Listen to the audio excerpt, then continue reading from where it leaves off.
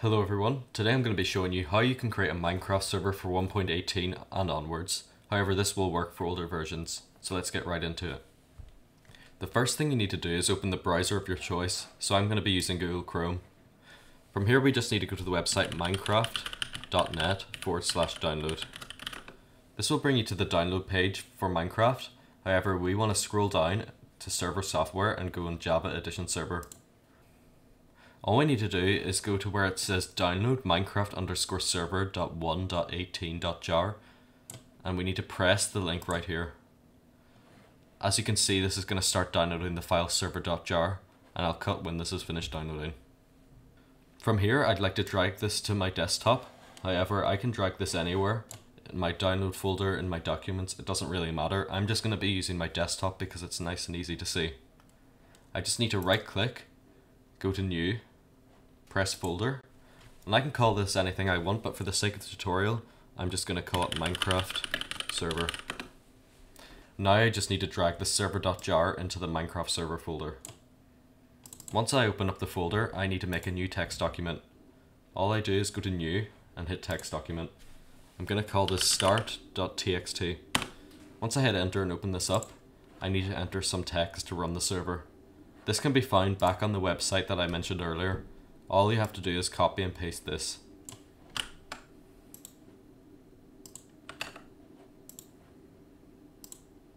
As you can see, now I've copied and pasted it into this file. Basically what this is saying is to use the language Java, the server is going to start with this amount of RAM, it's going to have the minimum of this amount of RAM, and it's going to target this file. However, if we look in our folder, you can see that this file does not exist. It's called server.jar, so I must change this to server. Now you can tell this text document is targeting the file server.jar. However, I need to change the name of this file to ensure it runs. So all I have to do is go to File, Save As.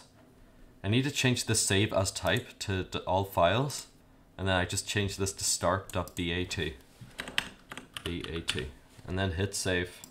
As you can see now, I have a new file start.bat, I can now safely delete the start.txt file. Now we have deleted the start.txt, we can run start.bat. However, I should warn you, before you run this, you need to install Java 17. I'll have the download link for that in the description below. Now we've opened this, as you can see, it will say a bunch of stuff. However, once this is done, we'll need to accept the end user license agreement. So as you can see, here it is. So I'm just going to left click this, right click, press edit. And as you can see, it says here, by changing the setting to true, you're indicating that you agree to the end user license agreement. Now I've already read this, however you can go read this yourself. I'll have it linked down below. So now all you want to do is change this to true. We can press file and then just save. We can close this now and run this start.bat again. I've just went ahead and skipped until it was done. As you can see, it took me 28 seconds for this application to run. However, it could take you longer or shorter depending on how powerful your computer is. I can just stop the server by typing the command stop and just hit enter. You can tell that we have loads of files now in this. I'm just going to go over the server.properties file. So I'm just going to left click, right click again and press edit. And here you can see the basic rule sets for the server. You can see if PvP is allowed. You can check if a whitelist is enabled. So as an example, I'm just gonna make the whitelist true. So I can just replace the word false with true. I decided I think I might just change the max amount of players on the server just so you can see. So I'm just going to change it from 20 to 1 player as I'm going to be the only person joining. Now we can just hit file and save this.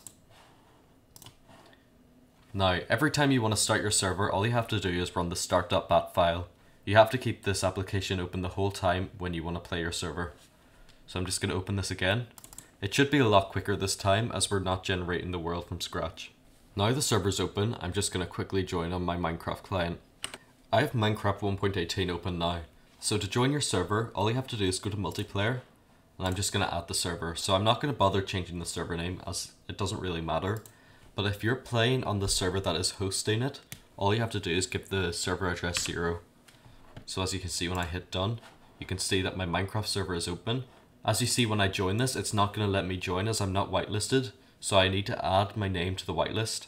So I will do that now. So the file we opened earlier is basically the console. So I can enter any command. So I'm just gonna whitelist space add space my username, which is KingKix. Once I hit enter, the server has told us that it's successfully added KingKix to the whitelist. So if I join the server now, I should be able to join. Now I've added myself to the whitelist, I should be able to join perfectly. As you can see I'm now here and we can see the brand new terrain for the new Minecraft update.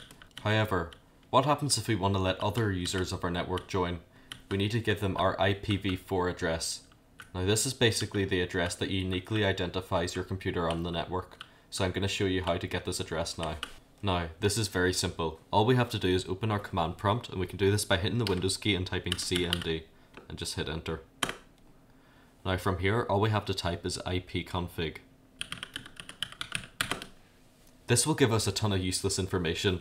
However, the only thing we care about is the IPv4 address. And in my case, this is 1.92.168.1.139.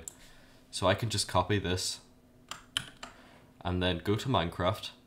Now all I have to do is add another server and instead of using the number 0, I'm instead using the IPv4 I copied earlier.